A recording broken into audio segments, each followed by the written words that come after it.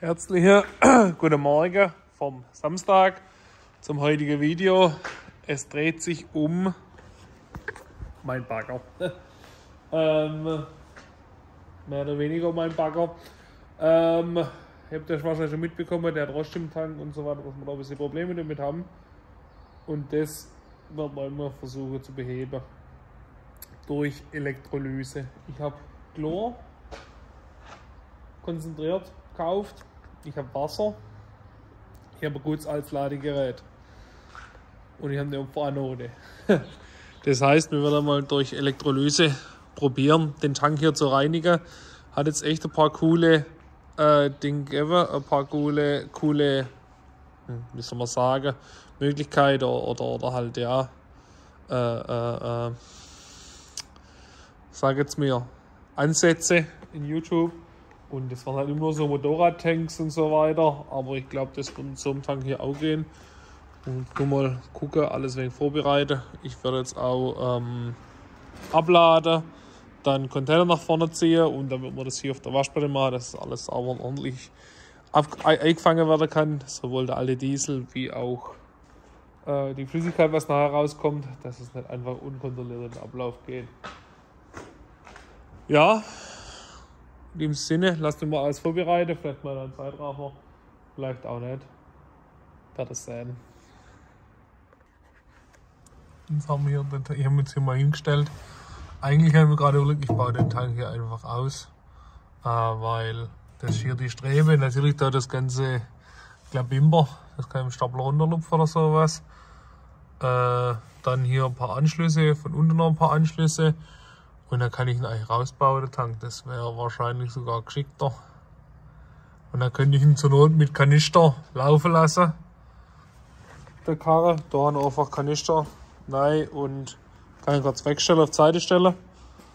Und dann kann man den mal ganz gemütlich einen Tag oder eineinhalb Tage blubbern lassen. Also dann heißt es quasi Operation Platz machen.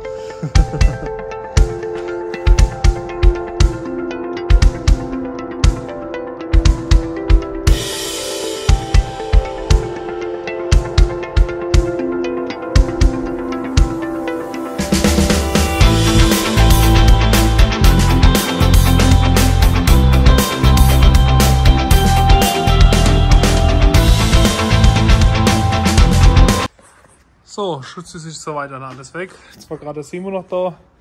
Baumgärtner, der hat ähm, Wunder gebracht von seinem Vater. Ah, sorry, der Vater war auch dabei. Ähm, dann noch ein wenig geschwätzt und so weiter. Äh, da müssen wir ein bisschen was richten dran. Nichtsdestotrotz geht es jetzt hier weiter. Machen wir den Tank leer. Schütz habe ich soweit alle runter, wie gesagt. Ich habe mit dem neuen Setup, habe jetzt mal probieren mit einer Goldnaderschläuche, ob die nicht, die wird hoffentlich nicht hart. Richtig geile Klemmschelle. Dann so Ohrenmuttern zum Draufdrehen, dreiviertel Zoll. Und hoffen mal, dass das jetzt dicht ist. Seid jetzt quasi live dabei. Guck, ob das funktioniert. Ich würde sagen, ist dicht, oder? Kann richtig schön zuschauen. Für die Pumpe, die eigentlich nur für Wasser gedacht ist. Und tun wir jetzt hier ins Tankfass rein. Ja, da kommt schon ganz schön was raus. Also kann sich sehen, als ob 40 Liter macht oder sowas. Ähm, ja, weil passieren tut ja nichts. Ich habe ja einen Filter dran. Also den Dreck, was ich da drin habe, kriege ich dann in den Fahrzeugen rein. Ich habe da eine Filteranlage mit dran.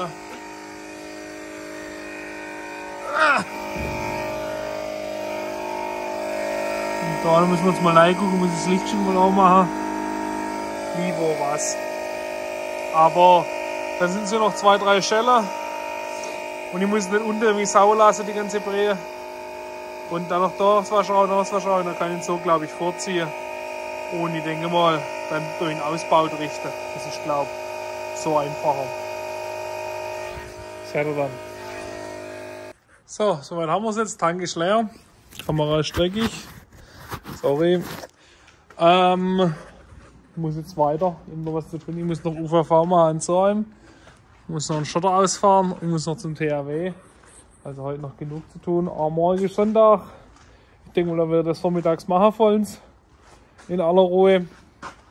Und dann geht's weiter. Dann werde ich mir das Ding wahrscheinlich mal rumbinden und ihr seid ein bisschen mehr wie nur das kurze Geschwafel von mir. jo, so schaut's aus. Bis morgen. Herzlich willkommen vom Sonntag, Heiliger Feiertag. Hm. Naja, kein Heiliger Feiertag. Schon mal ein ganz normaler Sonntag. Äh, ein bisschen später los als gedacht. Ich war, wir waren gestern auf der Factory Night in Schwabach, war echt cool. Coole Veranstaltung, auch viele Leute getroffen. War als Fahrer da. Das ist nicht immer ganz so cool, aber war auch in Ordnung. Äh, deswegen ein bisschen später wie gedacht heute. Jo, gestern haben wir hier alles leer gemacht, haben Platz gemacht drumherum. Und es ist ehrlich gesagt ein bisschen kalt. Heute. Ja, haben da Platz drum gemacht. Jetzt machen wir hier quasi die zwei los. Hinten sind nochmal zwei Stück, wo man losmachen muss. Und dann gucken wir, dass wir den Tank heute rausbekommen und mit der Elektrolyse anfangen. Er ist nicht ganz so krass dreckig, muss ich sagen. Also habe mir das da schlimmer vorgestellt. Aber alles cool, kriegen wir hin. Dass wir da äh,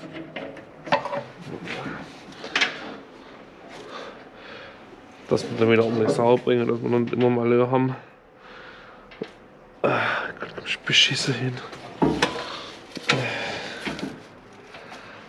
Jetzt kann es gehen. Ähm, dass wir da halt immer Probleme haben mit äh, Dreck und Verunreinigung und Rost. Ich glaube schon auch drin, aber das wird man dann auch gleich sehen. Ja, so. Und nach Hause. Jetzt uns weiter dahinter. Hinter. Wieder noch.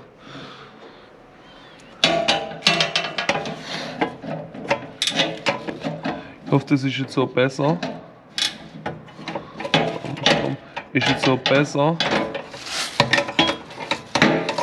wie dass ihr da vorne mit meinem Handy an der Brust hängt, weil ähm, da hört man mich glaube ich immer so hart schnaufen.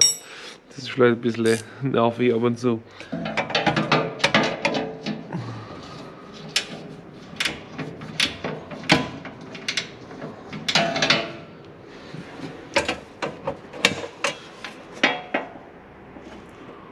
Das ist besser, ne?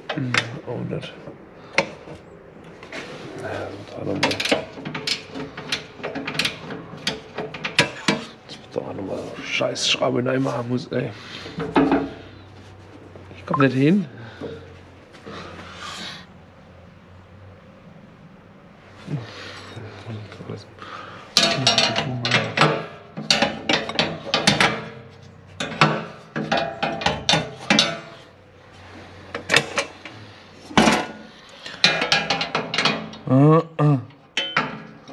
Aber von der Filmqualität ist es eigentlich in Ordnung. Was ich hier mache.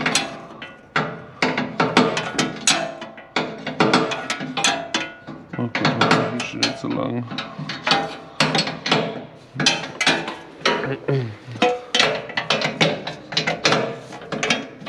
Ja, ab und zu frage ich mich schon, was sich die Hersteller denken bei manchen Schrauben. Was für die Idee, da die muss ich wieder ansetzen können dahinter. Lustig genug.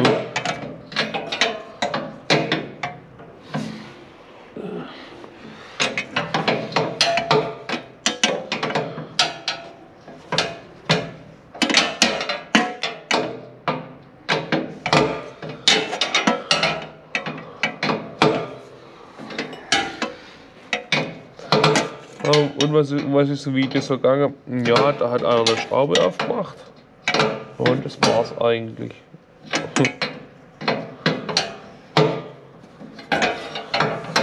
Jetzt selber.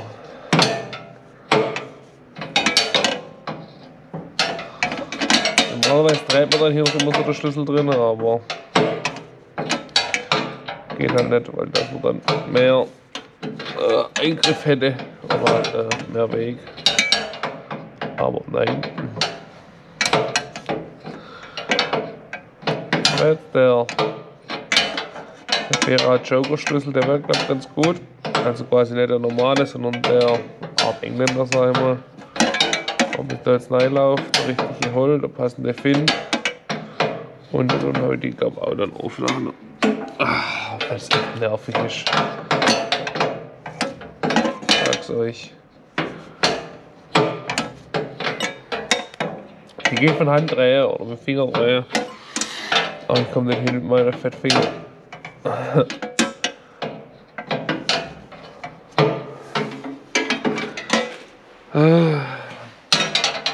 Ihr könnt ja mal in Kommentare schreiben, meine GoPro 8 hier, was ich habe, um den Kopf. Das ist schon drei aus. Äh, meine GoPro 8 hier ist schon relativ betagt, sage ich mal. Ihr könnt ja mal in Kommentare schreiben, ob ihr da irgendwelche gute Kameras kennt. Ich habe gerade gesehen, wo ich App wieder aufgemacht habe. Ich nehme ja gerade nicht so oft die GoPro hier am Anfang. Also so GoPro 13 draußen ist. Gucken wir mal, ob die vielleicht uns mal gönnen. äh, muss man gucken, was ich so mehr kann. Eigentlich ist es im Grunde genommen die. Äh, äh. Ist eigentlich die gleiche Kamera, gleiche Kamera wahrscheinlich nicht. Ich kann schon ein paar Sachen mehr auf unser Ding lang, die 8er schon, weil ich habe damals die 8er schon gekauft. Da war die ja oder alt, da hat sie die 10er, glaube ich, schon gebaut. 11er ist da, glaube ich, gerade rauskommen oder sowas. Äh, vielleicht könnte man da mal ein Update machen zur 10er oder irgendwie sowas, keine Ahnung, weil bei mir ist es nicht so, ich habe das Ding nicht irgendwann am Mountainbike oder an einem Fallschirm dran und mache da irgendwie extrem da, sondern ich stehe hier auf der Waschplatte sonntags und ihr könnt mir zusehen, wie ich eine Schraube rausmache. Nervig ist gerade.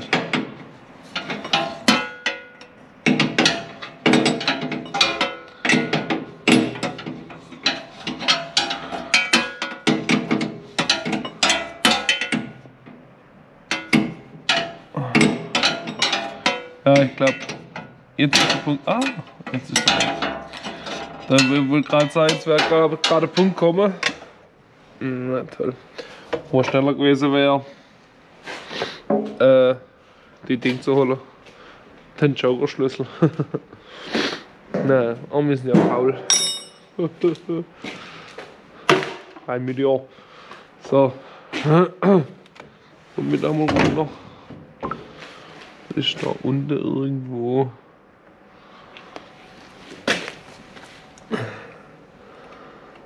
Zwei Halter auf für den Tank nochmal. Wenn ich da mit der ganz lange Flasche komme ich da nochmal runter.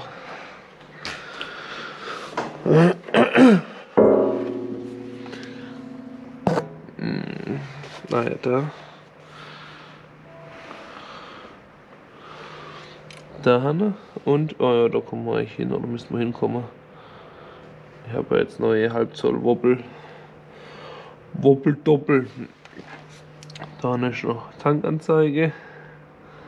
Noch mal ein paar Stecker, aber vielleicht haben wir da so viel Kabel, dass man so ein bisschen vorziehen kann. Da ist Tankpumpe. Jo. Gucken wir mal, wie wir da her werden. Wie gesagt, wir machen jetzt mal unter los und ziehen mal vor. So, weiter geht's. Akku tauscht, Akku geladen. Waren natürlich alle drei leer. Super toll. ähm,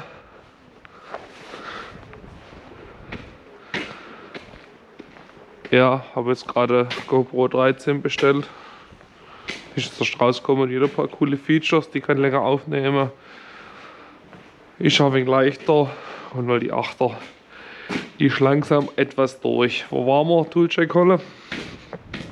Ist aber. Es ist halt einfach ein Hobby von mir. Und äh, deswegen gebe ich da ab und zu mal gerne ein bisschen Geld für aus. Gerade am Montagabend heißt es Bus aufräumen, aber dringendst. Er sieht aus. So, Toolcheck. Mega Teil. Ich nehme es echt gern. Gerade am Außendienst und so. Ist einfach alles drin, was man so mal kurz braucht. Ähm, ist praktisch. Ist zwar ganz günstig, aber gerade für solche kleinere Sachen und so schon ganz gut. So Schelle und Kabel und und und. Und das ja echt geil. So, jetzt gucken wir mal hier, wo wir so sind.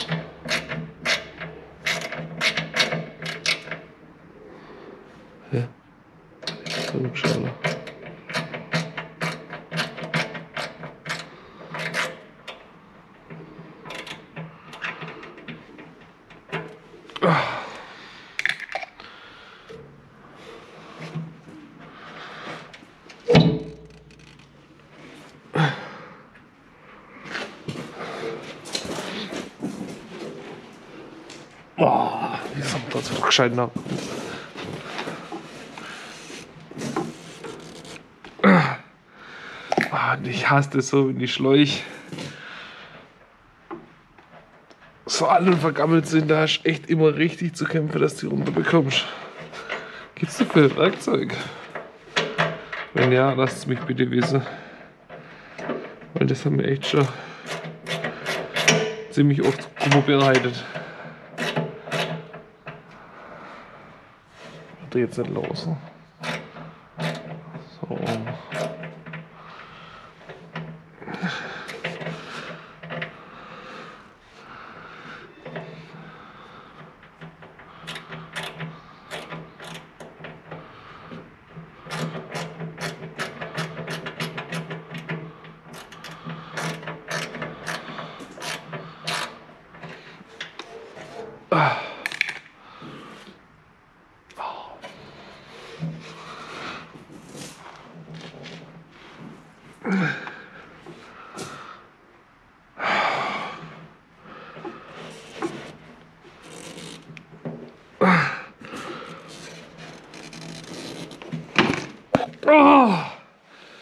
Fahrt's doch mal ab.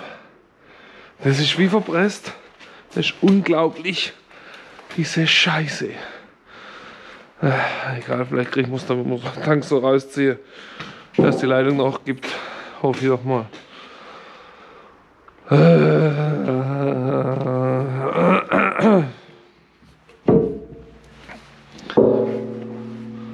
Jetzt hier oben.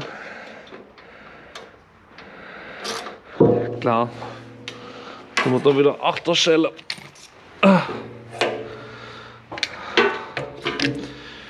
Das ist auch so was.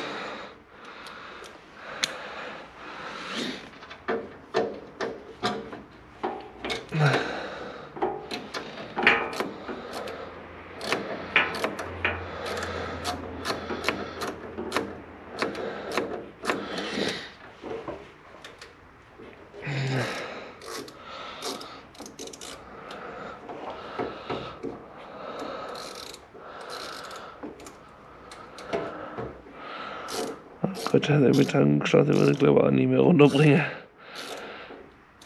Das ist schon mal so pickelhart. Ach du Scheiße. Der muss wieder mit Zange vielleicht auch mal so drehen.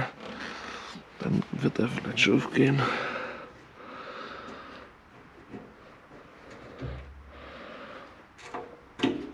So, der steht hier schon weg.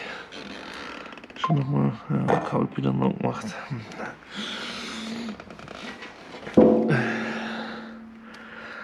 Da der Rücklauf, das ist wieder 7.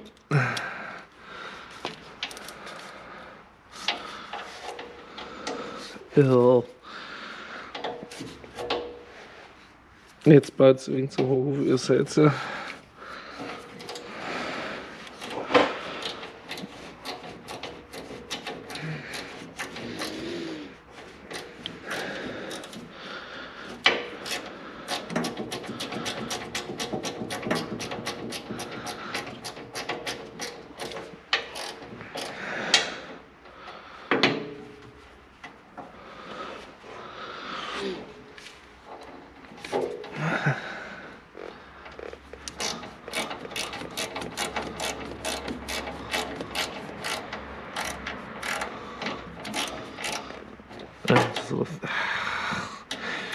Ja, so wie ich ab und zu mache, ich habe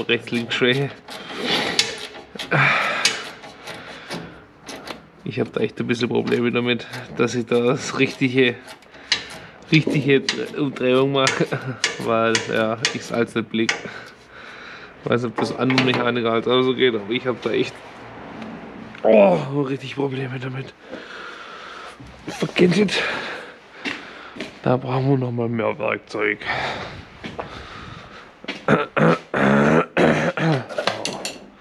Meine Stimme fuckt gerade Bau ein bisschen ab. Hoffentlich hält es noch durch.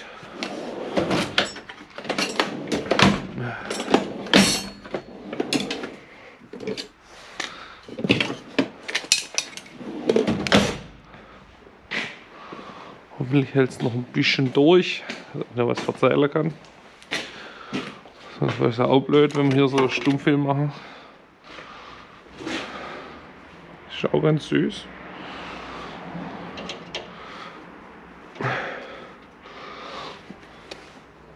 Oh, meine Fresse.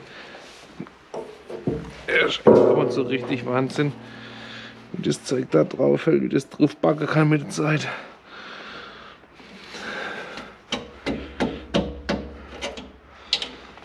Jetzt kommt glaube ich. Oh, Gott sei Dank.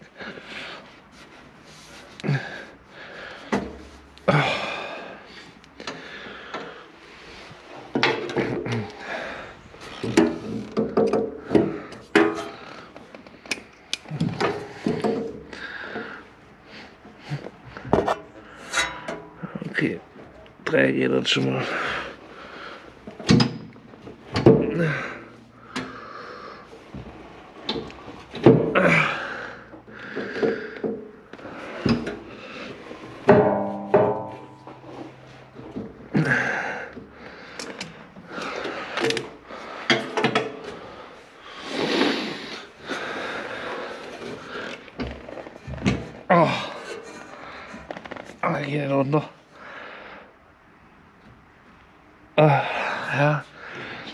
halt auf Raschenbart ich alt.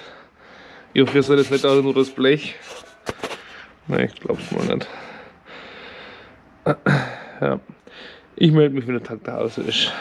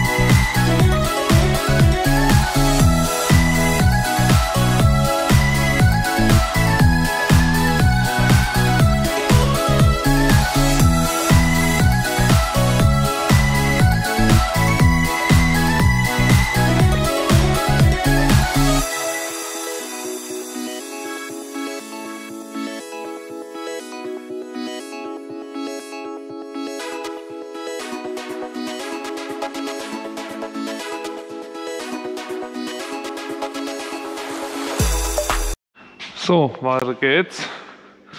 Wir brauchen einmal das hier. Ach, was ist jetzt los?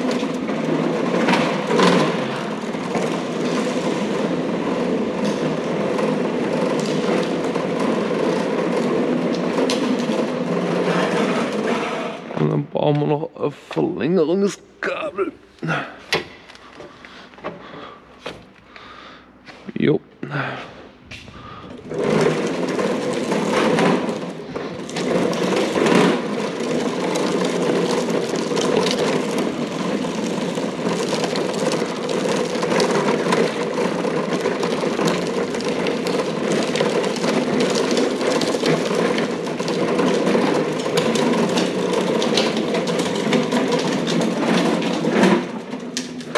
So, was machen wir jetzt hier?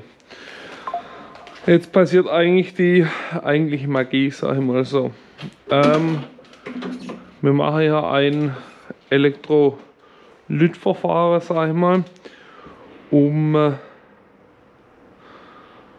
um ähm, den Tank hier sauber zu bekommen. Dadurch gebe mir äh, eine Spannung oder einen Strom in das Bad mit einer Opferanode rein und dadurch löst sich quasi das ganze, ähm, wie soll man sagen, das ganze, der ganze Rost drin auf. Ich baue es mal auf und dann kann ich es euch vielleicht mal ein bisschen deutlicher erklären. Was wir jetzt gemacht haben, hier unten zugemacht, mussten den oben noch zumachen und äh, zeige euch das Septop mal. So, jetzt richten wir das alles hier hin. Also ich ziehe mir da jetzt Audio mal Handschuhe an, weil das Zeug ist Chlor, 13%ig glaube ich. Da ist mir lieber, so Handschuhe hier anzuziehen. Und äh, dass da nichts passiert, weil da kommt auf irgendwelche Verätzungen oder was weiß ich. So, wir das über die Seite kommt hier, das sind 20 Liter. Da muss mal die Hälfte davon rein.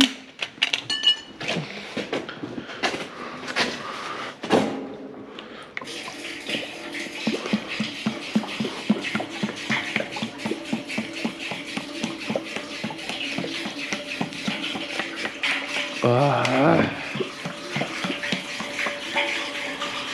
Hier ist auch gut, jetzt besser.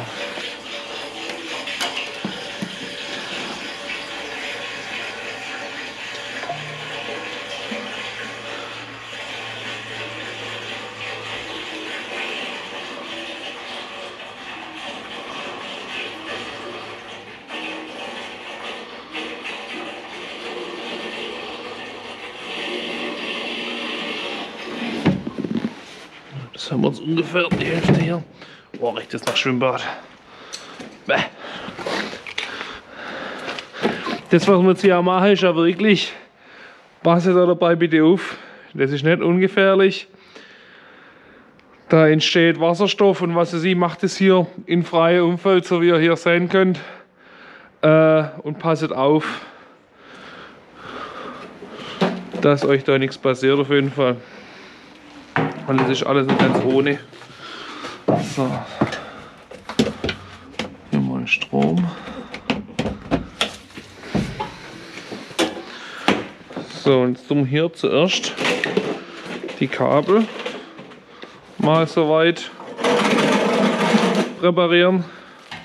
Also das Einzige, Einzige was wir uns aufpassen müssen, ist halt einmal hier Masse. So. Und dann wir jetzt hier eine Opferanode. Die kommt dann da rein in das Zeug.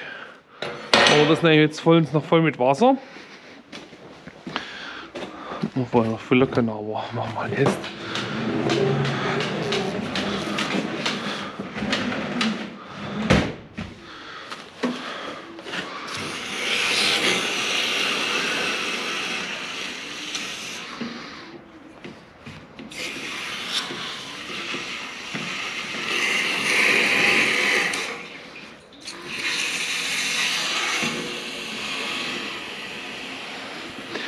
Füllen wir das jetzt hier einmal mit Wasser. Da kommt hier diese Opferanode rein. Am besten Stahl. Ist zwar ein wenig lackiert, aber das ist nicht so schlimm. Stahl, kein Edelstahl, weil es muss unedler sein wie das andere. Also Stahl und Stahl geht. Wisst ihr, was ist jetzt noch unedler? Wir haben jetzt gerade so spontan gar nichts ein, was unedler wie, wie jetzt ähm, äh, Stahlblech ist. Gibt es auf jeden Fall was, aber was? Hm. Das auch schon mal überlegen. Und dann können wir schon mal das hier schon mal ein bisschen präparieren. Ich hoffe, ich bekomme jetzt den Anfang hier runter. Und dann habe ich hier Hänschig.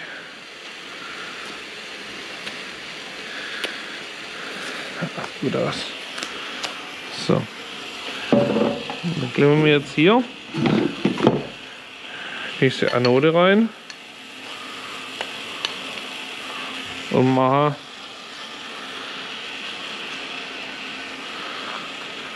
wickel das jetzt hier ein wenig um, dass wir da nicht aus... Uah, scheiße.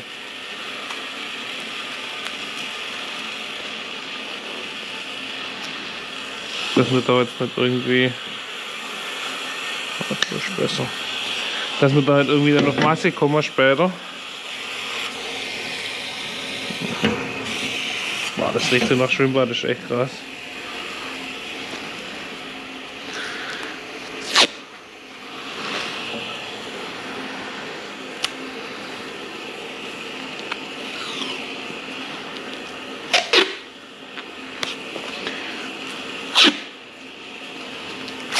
Erstens mal, dass es hier gescheit drin bleibt. Und zweitens mal, dass man hier keinen Kurzschluss erzeuge. Weil hier entsteht Wasserstoff, laut YouTube, was ich halt glaube. Und Wasserstoff und ein Zündfunke und genug Luft. Ich glaube, die, wo gleich ein bisschen aufpasst haben in Chemie, wissen, was da passieren kann. Siehe, ach, jetzt weiß ich nicht siehe äh, Hinterburg. ja, und dann Brodel ist da drin. Ich mache jetzt mal einen halben Tag, also bis heute Abend, bis um 4, 5. Jetzt sind wir 13.30 bis um 5, 6 dann wird es eh dunkel, dann mache ich das hier aus, weil über Nacht will ich das nicht machen. Äh, und dann gucken wir uns mal das Ergebnis an, weil so stark korrodiert ist er jetzt ja nicht. Ihr habt ja das Anfangsbild gesehen, ein bisschen. Ich wollte jetzt einfach noch ein paar bessere Aufnahmen machen, aber das ging leider nicht, nicht, nicht mehr. Ich habe es probiert mit der Kamera. Äh, ja, dann sehen wir uns, wenn der Tank hier voll ist. So, und jetzt einfach hier. Eh, natürlich ist noch ausgeschaltet.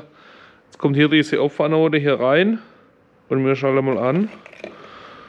Gucken, was passiert natürlich. Und das gleich Bumm macht. Weiß es auch nicht. Wenn sei er auf jeden Fall live dabei, wenn es mit einer irgendwie ins Eck haut. Und das ist wichtig, da braucht er so ein altes Batterieladegerät. Wo hier noch ein bisschen, oh, wo hier noch ein bisschen Schmackes hat. Und dann 12 Volt. Auf Stufe 4 ob es da. Ja, also ihr seht, so viel Leistung wie möglich muss man hier aufbringen. Und dann gucken wir mal, was es jetzt macht. Jetzt mich. Ah, guck.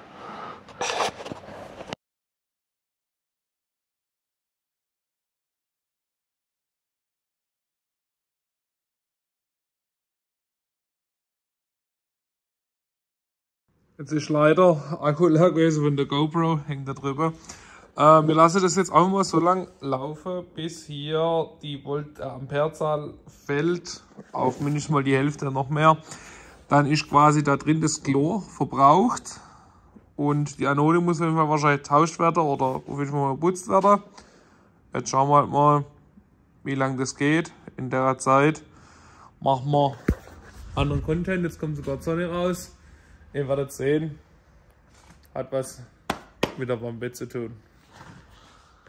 Jetzt nach wie viel Uhr? Vier, fünf? Fünf. Also wir haben angefangen um 1, jetzt 5 Uhr.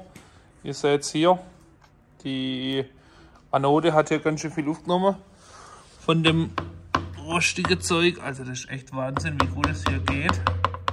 Mir hat jetzt auch noch äh, von der Leistung her gut was. Das lassen wir uns einfach ein bisschen drinnen. Innen drin sehen wir jetzt nicht so viel. Ah, ist echt Wahnsinn, wie sich das dann auflöst. Äh, aber ich sag mal bis hierhin, also für weiter können wir es mal nicht machen. Ich werde jetzt halt mal noch ausleeren. Einmal sauber machen und dann mal leuchten und dann nochmal frisch befüllen. Und äh, ja, schauen wir mal, wie es dann rauskommen ist. Jetzt haben wir umgeschmissen. Ihr seht, was da vor Drecksbrühe rauskommt. Oh, das schön bewegen. Lassen wir mal für leer laufen. Gucken uns das da mal an, wie das dann innen drin aussieht. Ich bin echt mal gespannt. Dann tun wir dann auch mal nochmal füllen. Vielleicht, vielleicht auch nicht, ich weiß es nicht. Wir schauen mal. Werden wir dann sehen. So, also. Jetzt haben wir hier eigentlich wieder der Tank sauber, soweit. Ich spüle jetzt nochmal aus mit Wasser, mit klarem. Aber ich würde sagen, das ist echt richtig gut gegangen. Jetzt, wie er, wie er vorher ausgesehen hat. Ist ja echt da viel Dreck da rausgekommen. Hab einiges an Dreck. Schauen wir mal, ob das dann schon reicht oder noch nicht. Also wir machen jetzt nochmal einen zweiten Durchgang. Aber ich sag mal so, ich habe die Ergebnisse gesehen. Ich bin echt überrascht, dass das so gut gegangen ist. Und jetzt machen wir das nochmal. Vielleicht sogar über Nacht, weil das ist sehr, sehr sicher gegangen. Aber ich mache es heute Abend mal aus, wenn ich fertig bin mit dem Video schneiden und so weiter. Aber wirklich geile Methode. Kann ich nur weiterempfehlen. Ähm, ich halte für ein Geschäft und ich denke mal vom Eibau muss ich jetzt auch noch mal ein Video machen, das halte ich gleich zurück. äh, aber wir werden das am Hanumak auch noch mal machen auf jeden Fall.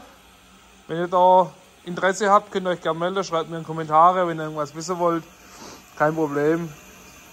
Äh, also geht auf jeden Fall bei größeren Tanks. Du brauchst halt bloß dementsprechend das, der Power am Ladegerät. Äh, so altes am besten oder du tust eine große Batterie dazwischen oder sowas. Aber ja, war echt super. Und müssen wir gucken, wenn wir das dann wieder morgen werde ich dann äh, Zitronensäure nochmal einen Tag. Das ist quasi neutralisiert, glaube ich. Muss ich das machen, also habe ich das so gesehen. Das machen wir, das habe ich ja noch da, das ist ja kein Problem. Und dann wird es richtig Taco und ähm, dann geht hoffentlich der Bagger dann wieder ohne große Probleme.